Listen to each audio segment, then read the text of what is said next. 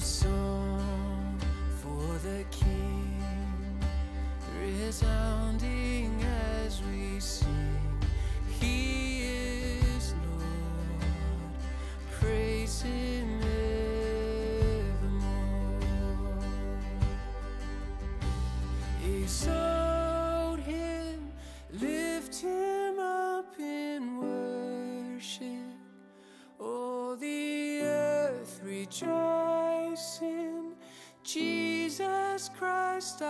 our Lord. Enthrone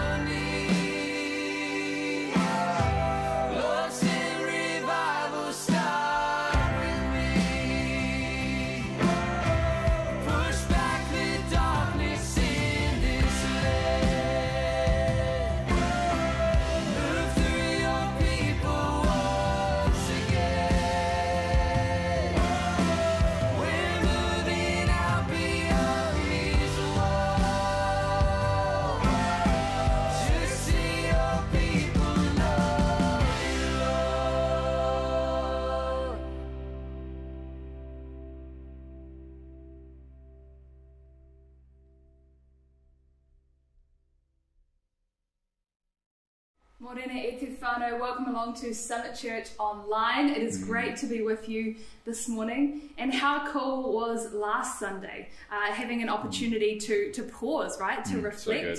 uh, I know as I was, uh, yeah, kind of taking that time to uh, dwell and to listen to the Spirit, uh, it was just such a special time for me and really timely as well. I definitely needed that uh, that time. So I hope uh, you enjoyed it. If you missed uh, the service last Sunday, then feel free to head onto our website. You can find it. Uh, make sure you check that out.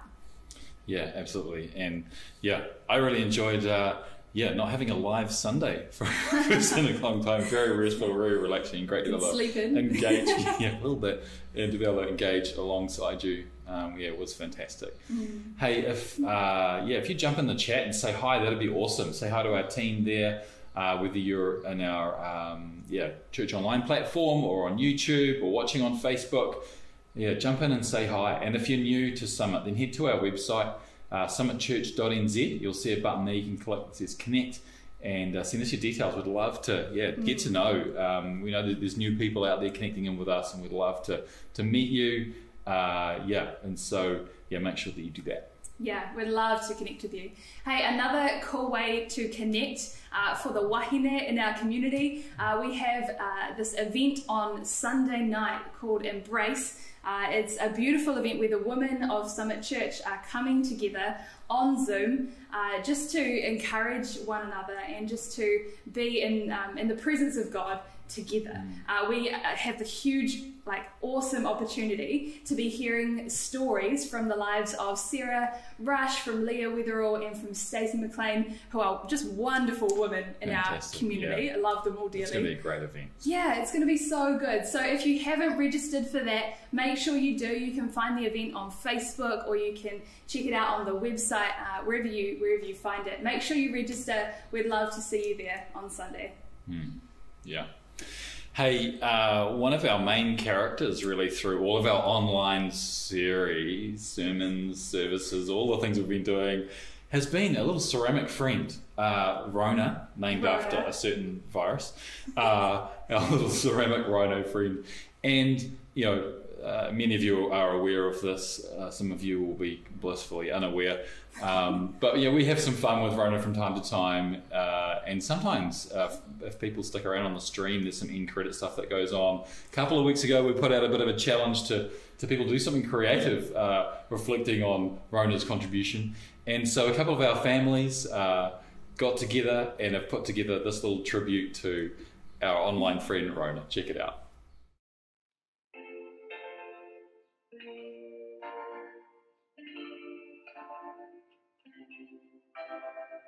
Homegrown Sunday service, 10 a.m.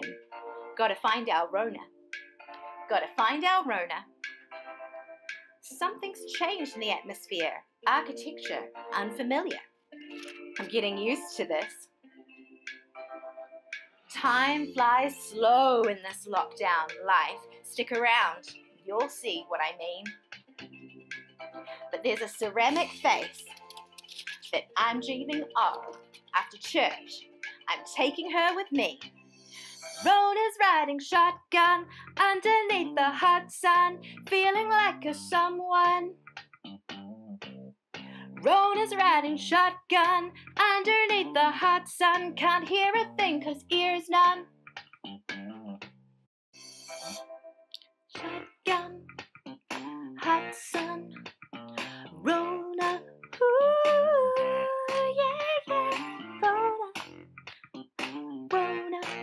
She's on a Sunday, she's Rona, she's hiding from you, Rona, Rona. Mm, yeah. Man, how cool was that video? I loved seeing the little kids So riding past fun. on their bikes and celebrating um, our favourite friend Rona. She really steals the show, doesn't she? All of her splendour. So and without words too. Yeah, Just a yeah. What, what a rhino. We love her. hey, if you are a part of our Summit Kids program or if you are in exchange, um, we love you guys. We can't wait to one day be back uh, together in person. But today, you've got awesome programs happening. So why don't you guys head out there now, connect in with the different, uh, the different programs and check that out. Yeah, have an amazing time. And we're going to carry on here with our Called Beyond series. Uh, Braid's continuing uh, for us this morning uh, in Acts 26. So thanks, Braid. Kia ora, Summit.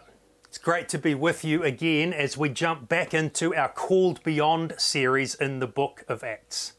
Series we've been journeying through for most of this year, and today we come to Acts chapter 26. We just have three more weeks in this series to finish the last three chapters of this amazing book. So if you've got a Bible with you, got your, your phone there with the Bible app on it, I'd love you to come with me to Acts 26 if you would. On August 28th, 1963, the Reverend Martin Luther King stood on the steps of the Lincoln Memorial in Washington, D.C., and he delivered an electrifying address. It's gone down in history as one of the greatest speeches of all time. He was actually just one of a series of speakers that day, talking to hundreds of thousands of people who'd marched for civil rights on Washington, D.C. But it was his speech that electrified a nation and has gone down in history. We know the speech by the echo, the, the line that he continued to repeat through, uh, through it I have a dream. And fascinating thing is that the parts of the speech that we know best were actually the part where he departed from his notes and just ad libbed this vision, this dream of what he hoped America would be one day in the area of civil rights. He said, I have a dream that one day on the red hills of Georgia, the sons of former slaves and the sons of former slave owners would sit down together at the table of brotherhood. I have a dream, he said, that my four little children will one day live in a nation where they will not be judged by the colour of their skin but by the content of their character. I have a dream. And that speech has gone down in history as the high watermark of Dr. King's entire career. As well as a civil rights leader, he was, of course, a pastor and a preacher. And so in his lifetime, he delivered hundreds, if not thousands, of sermons and speeches. But it's this speech that he's remembered for. As we come then to Acts 26, we come to a speech that the Apostle Paul makes. If you remember a couple of weeks back, he has been on trial in front of Governor Felix and now a new governor called Porcius Festus. And uh, it's not gone well, and so Paul appealed his case to the emperor in Rome. But a few days later, one of the Herods, King Herod Agrippa II, with his sister Bernice, has come to visit the new governor Festus. And so Paul is called in before Festus and Agrippa and a crowded room to explain a little bit and defend a little bit his faith in Jesus. And the speech that he gives, which is the content of Acts 26, is considered by many scholars to be Paul's equivalent of the I have a dream speech. This is the way one eminent New Testament scholar, Dr. Ben Witherington, puts it. He says this chapter is the climax of all Paul's speeches in Acts. The speech is perhaps the most elegant of all, reflect, reflecting careful preparation and attention to elements of style. Paul has had time to reflect and prepare a rhetorically persuasive piece. You see, the ancient world had this idea of rhetoric, how you did a speech. It was, it was some rules around oratory. And the highest form of speech making was called the apologia. And what Dr. Witherington and others have shown in their in depth commentaries of Acts is that Paul's speech here in Acts 26 follows all the rules of ancient literature, sorry, ancient rhetoric. It follows the categories of oratory exactly and what is called an apologia. And in fact, that's confirmed by a tiny little detail that Luke throws into the story here in Acts 26. So you read in Acts 26, verse 1 Then Agrippa said to Paul, You have permission to speak for yourself. Remember, Agrippa and Festus are in this full room listening to Paul's defense. And then Luke tells us this in verse 1. So Paul motioned with his hand and began his defense. And that little detail that he motioned with his hand and began his defense is part of this idea of, of rhetoric, of great oratory, of someone who is following the rules uh, that the ancient Greeks and Romans had for the highest form of speech making. Now, for someone like me that does sermons for a living, I'm a professional speaker, if you like, uh, this is fascinating stuff. But I understand that most of you don't enjoy public speaking and you don't speak that often, and, and the times you do, you'd rather not. And so I don't want to attack Acts 26 today from a speech making point of view. That's what Dr. uh, Witherington and a number of other scholars do. They walk through Acts 26 showing how carefully crafted this apologia is. But the fact is that, that most of you listening to this aren't interested in how to do a speech according to the ancient rules of Greek rhetoric. Instead, what I want to show us is the two simple things that Paul does here that every single one of us can do, whether in a speech or sermon, or whether across the coffee table or a lounge with a friend. You see, this idea of an apologia, a, a defense or an argument for what we believe, is actually found in the Bible. In fact, there's very no well known verse in 1 Peter chapter 3. Always be prepared to give an answer. That's the word, an apologia to everyone who asks you to give the reason for the hope that you have, Peter says. But he adds, and do this with gentleness and respect, uh, as we've unpacked in these last few weeks in this series. Paul, uh, sorry, Peter here is not asking that every single follower of Jesus uh, be someone who can give a persuasive speech, someone who can deliver uh, a piece of oratory that fulfills all the, the ancient rules of rhetoric. What Peter's simply calling for is for us to be able to make an apology, to, to give an explanation to anyone who asks us why we believe in Jesus. And that may not be speaking up front in front of a crowd of people for most of us. It may be sitting in our lounge at home chatting with a friend. It may be sitting in, in a cubicle in the office. It may be having a coffee with a mate and simply talking when they ask us about our faith in Jesus. And so I want to think of, look at Paul's speech today in those kinds of terms. What does it look like for us to be prepared to give an answer for the hope that we have? And I simply want to highlight two key things that Paul does in Acts 26 that I think every one of us can learn to do really well. The first thing is this Paul utilized the power of story. Paul utilized the power of story.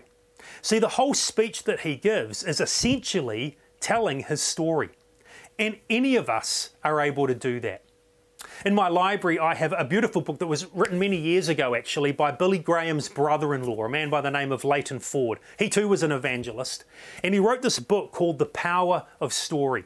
Here's what he said Each of us has a story, what I call a story with a small s, the story of our own lives. At some point, Ford says, in our journey through life, our story collides with the story of God, the story with a large S. God's story calls our story into question. And I love this idea. I love this, this concept that if you're a follower of Jesus, you have a story. Because your story of your life, small s, at some point collided, and I love that word, collided with the big capital S story of God that centers on the person and the work of Jesus. And because of that, your life and my life have never been the same. And it was the same for Paul. And what Acts 26 really is, as well as being this brilliantly crafted speech, it's actually simply Paul's story. And so he utilized the power of story in a way that you and I can do as well. Now, we're not going to read the whole chapter, we don't have time to do that in this message, but essentially, Paul's speech breaks into two halves because that's how his story does. It's the before and after. So in verses uh, 5 through to 11, Paul talks about um, what his life was like before Jesus collided with him. He talks about his upbringing and his training as a Pharisee in the first few verses in Jerusalem. And then he talks about his opposition to the followers of Jesus and his persecution of them. And then, of course, comes the dramatic moment that he speaks about in verses 12 and 13. It says, On one of those journeys, I was going to Damascus with the authority and commission of the chief priests. About noon, King Agrippa, as I was on the road, I saw a light from heaven, brighter than the sun, blazing around me and my companions. And as he goes on, as we'll see shortly, he talks about the fact that Jesus speaks to him, appears to him. And that introduces the after of his life. This appearance of Jesus when he not only converts Paul to faith in him, but calls him as an apostle and an eyewitness to him. And Paul's story finishes with his obedience to this call of Jesus. And so, this is what's fascinating. Paul, in this amazing speech, this eloquent speech that he makes, is actually just telling his story. And this idea of a before and an after is not, was not just true of Paul, that's true of every single one of us. All of us have a story that has a before and an after, and the dividing line between them is when our story collided with the story of Jesus. You see this brilliantly, by the way, in verse 18. This is where Paul is talking about Jesus talking to him. I'm going, to, I'm going to start reading from verse 17 for context. This is Jesus speaking I will rescue you, Paul, from your own people and from the Gentiles. I am sending you to them to open their eyes and turn them from darkness to light, from the power of Satan to God, so that they may receive forgiveness of sins and a place among those who are sanctified by faith in me. And so, what Paul is saying is that as Jesus called him to this ministry as an apostle, he called him to, to preach the message, to declare and share the message and the person of Jesus with everyone so that their eyes would be opened and so that every person who trusts in Jesus could have a before and after. And this is what verse 18 is saying if you look at it carefully. If, if you've trusted in Jesus, you've gone from darkness to light from the power of Satan to the power of God, from implied guilt and shame to forgiveness, from alienation and aloneness to belonging. See, this is our story, every single one of us who have trusted in Jesus. In fact, what's fascinating is that if you look at these words in the after column, we've been moved to light and to the power of God, the kingdom of God, forgiveness and belonging. It's very much like a passage in Colossians chapter 1. Now, there's some debate over when that letter was actually written, but I believe Paul wrote it from Rome when he gets in Acts 28. So I think in just a few months after giving this speech, he sat down and he dictated the letter that we call Colossians. And here's what he says in Colossians 1 giving joyful thanks to the Father who has qualified you to share in the inheritance of his holy people. That's belonging in the kingdom of light. For he's rescued us from the dominion of darkness, he's brought us into the kingdom of the Son he loves, in whom we have redemption, the forgiveness of sins. See, this is our story, every single one of us. It's not just Paul who had a before and after, it's me and it's you. And as Paul seeks to make an apology, a defense, just give an explanation for, for the faith that he has in Jesus, for the hope that he holds on to. Paul utilized the incredible power of story. And you and I can do exactly the same thing. So let me ask you a question here. What difference has Jesus made to your life? See, I think part of being prepared in the way that, that Peter calls us to in his epistle, 1 Peter chapter 3, uh, prepared to give a reason, to give an apologia for the hope that we have. Part of that is being uh, aware of the difference that Jesus has made and being prepared to share our story. And that doesn't need to be big, it may just be a few sentences. But what's our before and what's our after? And what difference has Jesus made when his story collided with our story? See, Leighton Ford's right. Each of us has a story. You have a story. And one of the most powerful ways that you can talk about your faith in Jesus is simply to share your story with someone else. And so if you've never done it before, I would encourage you to actually think about how would I share my story in just a few sentences with someone else. It doesn't have to be huge, but what's your before and what's your after? See, for me, the difference that Jesus made is through the whole concept of grace. I grew up, as you know, in a church family, parents who loved Jesus. So I was raised with this understanding of who Jesus was. I placed my faith in him as a child and recommitted my life at different times through the years. But it was a, as a young adult that I, I came, uh, collided with really the doctrine of grace. See, for me, I'd grown up as this church kid who always did the right thing and was always well behaved, or most of the time, and I was just a good kid. And that's what I thought God wanted from me. And so for me, a relationship with God was based on my own goodness and my own behavior. And so I would fluctuate in my life between uh, trying hard to be good so that when I was good and when I was feeling like I was measuring up to what God wanted, I'd become arrogant and I'd look down on people who weren't as good as me. But then when I fell into sin or made a mistake, I would swing like a pendulum over to this, this deep sadness that I, I was a failure and I wasn't sure that God loved me. And this was my walk with God for a number of years through my teenage years until as a young adult I discovered this idea of grace. That my relationship with God, God's love for me, is never based on my performance, on what I do, on whether I'm good enough, because I'm not good enough. Instead, His love for me, my relationship with Him, is based purely on Jesus' performance, not mine, on Jesus' goodness, not mine. And when I discovered that, my relationship with God radically changed. That's the difference He's made in my life. What about you? What difference has Jesus made in you? What's the before for you and what's the after? Because everyone has a story. And that can be one of the most powerful ways you can talk to others about Jesus. Paul utilized the power of story.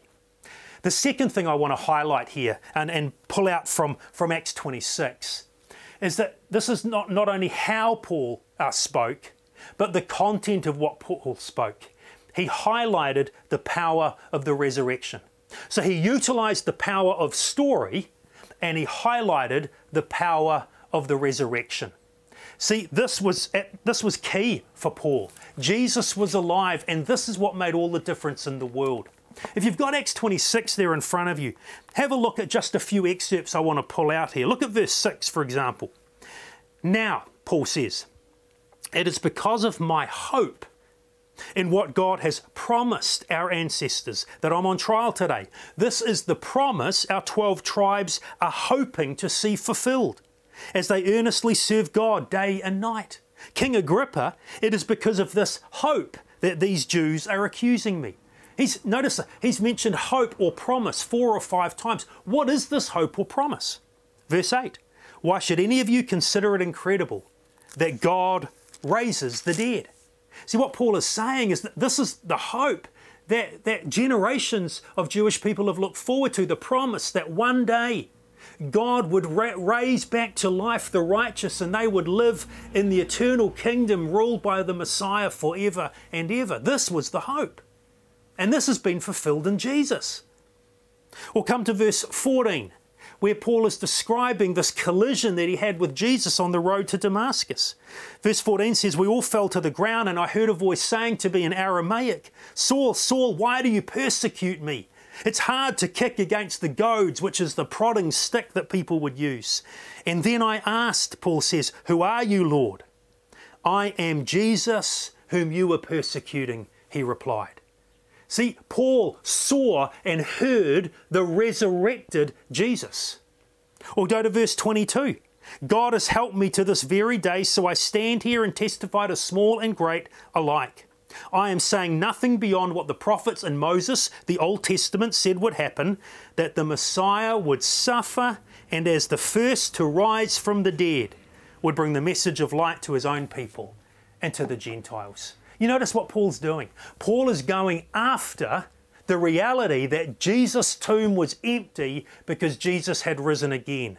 And it's not only Paul, it's actually the emphasis that Luke himself has shown all the way through the book of Acts. Listen to these words from UK pastor Phil Moore. He says Luke goes out of his way to model for us gospel messages that focus at least as much on the resurrection as they do on the cross.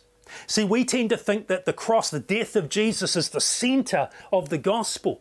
But actually, it's the cross and the resurrection. It's the cross and the empty tomb. Without the resurrection, Jesus' death didn't accomplish anything.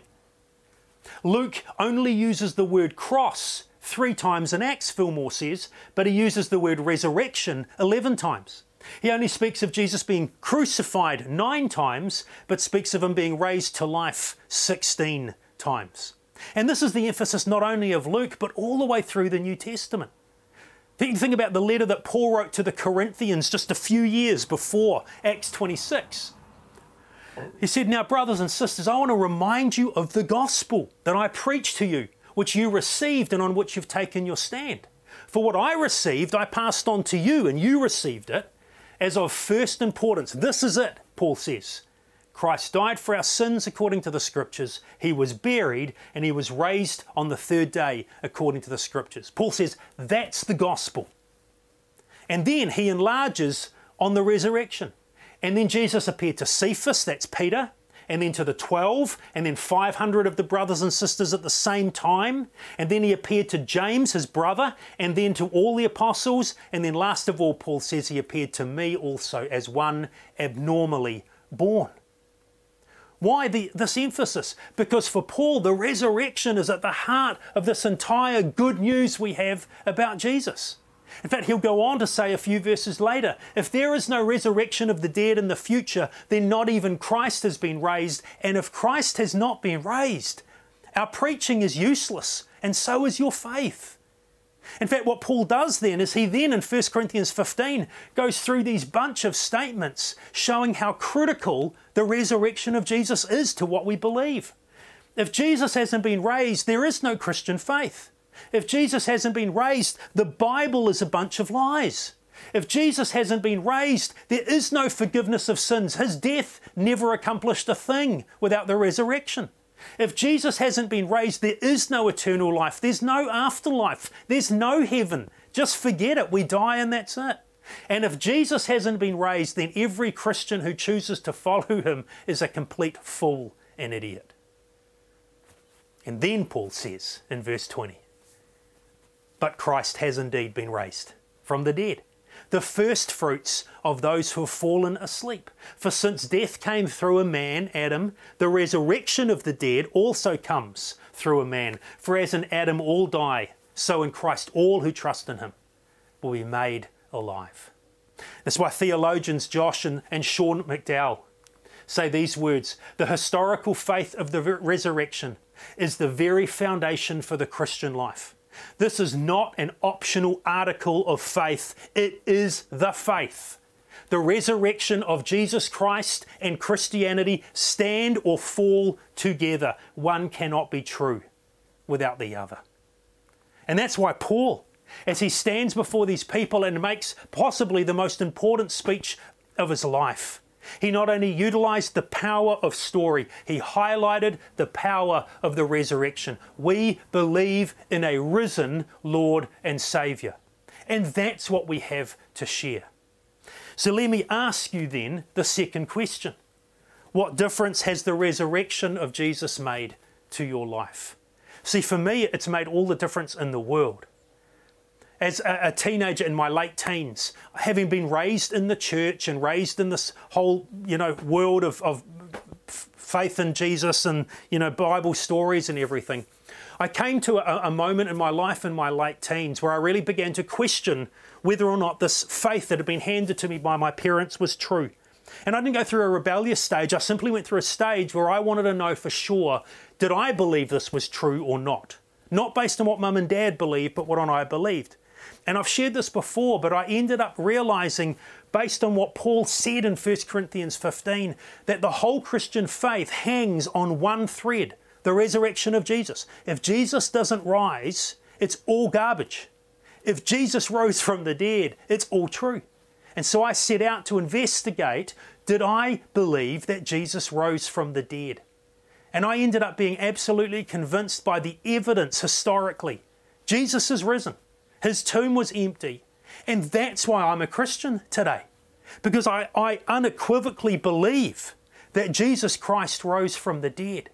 And that's a key part of my story and how the big story of God in Jesus collided with me. What about you? Are you convinced of the resurrection of Jesus? Because I tell you what, if we understand the power of our story and the impact Jesus has made in our life, and we realize the importance of his resurrection and this wonderful good news, then we are ready to share the difference that the risen Jesus has made in our life. And that's what I think Paul's example in Acts 26 is teaching us that we need to be ready to share the difference that the risen Jesus has made in our lives. See, that's what Peter was calling for. That's what Peter is asking every single follower of Jesus to do. We don't all preach sermons. We may nev- you may never make a speech in your life. You may be the quietest, most introverted, shyest person who's ever followed Jesus in the world. But you can still give an answer to someone sitting across the table with a friend about why you believe in Jesus. You can still share the difference and the power in your story of what Jesus has done in you. And you can talk about the difference that it's made to you to know that Jesus is risen from the dead. And this is the call on each of our lives, folks, to be ready to share the difference that the risen Jesus has made in our lives. And here's the freeing thing, and I talked about this earlier in the series back in May, but I want to come back to this again. God's call on our lives is to share the story of how God's big story has collided with our story. God's call on us is to be ready to share the difference that the risen Jesus has made in our lives. It's not to convert people, it's not to convince people. God doesn't expect you and me to have all of the arguments figured out and to have every answer ready that could ever be asked about evolution and dinosaurs and the reliability of the scripture and the historicity of Jesus. No, no. He's asking us to be ready to share the difference Jesus has made in our lives. Because whether or not someone chooses to trust in Jesus is not up to you and me. That's the work of the Spirit of God in their lives. Back in, uh, in May, when I talked about this a little bit in this series, I shared what I still think is the best definition of evangelism ever done. Bill Bright, the founder of Campus Crusade for Christ. Success in witnessing, he said, is simply taking the initiative to share Christ in the power of the Holy Spirit and leaving the results to God. See, and that's what Paul does. Look at the closing verses of Acts 26. He's made his speech, he gets to verse 23, talking about the resurrection from the dead. Verse 24. At this point, Festus interrupted Paul's defense. You're out of your mind, Paul, he shouted. Your great learning has driven you insane. I am not insane, most excellent Festus, Paul replied. What I'm saying is true and reasonable. The king is familiar with these things, and I can speak freely to him. I'm convinced none of this has escaped his notice. It wasn't done in a corner. This is historical fact, Paul says. Verse 27 King Agrippa, do you believe the prophets? Do you believe the Old Testament? I know you do. And then Agrippa said to Paul, Do you think that in such a short time you could persuade me to become a Christian? And Paul replies in verse 29 Short time or long, I pray to God that not only you, but all of those listening to me today may become what I am, except for these chains. You see, Paul delivers one of the greatest speeches ever about Jesus. And Governor Festus scoffs, and King Agrippa sidesteps. There's no evidence that either of those men ever trusted in Jesus. But that wasn't Paul's job. Paul's job was simply to take the initiative to share Christ in the power of the Holy Spirit and leave the results to God. Your job is not to convince your friends or family members or workmates that, that they have to trust in Jesus. Your job is not to change their hearts. Your job is not to answer, be able to answer every single question or problem they raise. What each of us are simply called to do is share the difference that the risen Jesus has made in our lives. If you're a follower of Jesus, you have a before and you have an after. The story of God has collided with your story, and you've got a story to share about the risen Jesus. Let's go share that message today. God bless, guys. Thanks so much, Brad. I uh, really appreciate you uh, opening God's word for us this morning uh, Yeah. and leading us through uh, Acts 26 and reminding us with that uh, incredible challenge, really, to to be ready to you know to share our faith, um, to rem- uh, and from our own perspective, you know, to to share that uh, the difference that the risen Jesus has made in our own lives Yeah, with yeah. people. Um, and that's where we can start, you know, from our own stories. And so, yeah, thanks for that that challenge and that and that reminder. Uh, may that motivate us uh, to, to find opportunities to do that this week uh, and in, in, in coming weeks and in, in all of our lives. Hey, we're going to worship together now. Our team is going to lead us in a beautiful song called There is a King. Uh, that just paints a beautiful picture of uh, of the risen Jesus who reigns as our King, and just reminds us of this future, incredible future hope that we have of just being able to to bask in His glory and be in His presence. So, yeah, let's worship now.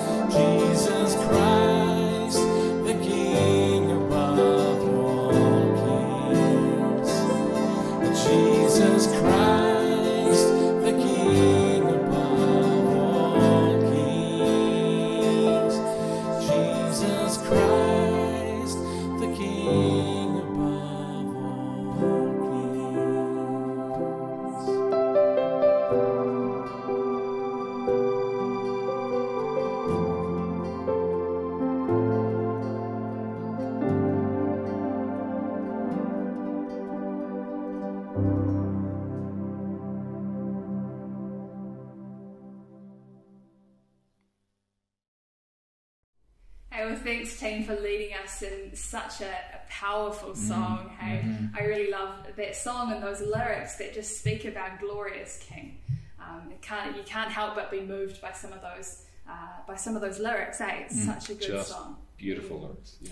Hey, listen to this. It's from Isaiah uh, 25, uh, starting in verse 8. It says this uh, He, this is God, He will swallow up death forever. The sovereign Lord will wipe away the tears from all faces. He will remove His people's disgrace from all the earth. The Lord has spoken. In that day, they will say, Surely this is our God. We trusted in Him and He saved us. This is the Lord. We trusted in Him. Let us rejoice and be glad in His salvation. So, as we go out into this week, let us remember this to rejoice in the salvation that we have in Jesus and to share that uh, so confidently, knowing that He goes before us and He goes with us. Um, so, yeah, would you have a, a wonderful week? It's been great to be with you this morning. Ka kite. Ka kite.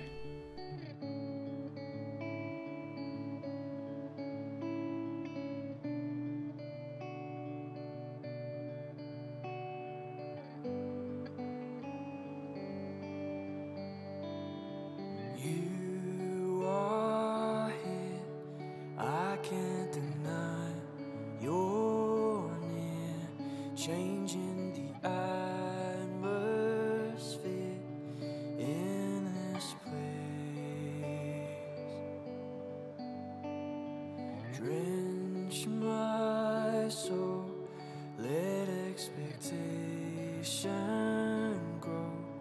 Lord, let your glory fall in this place. Break down the walls I put up. Lord, walk in. Take back the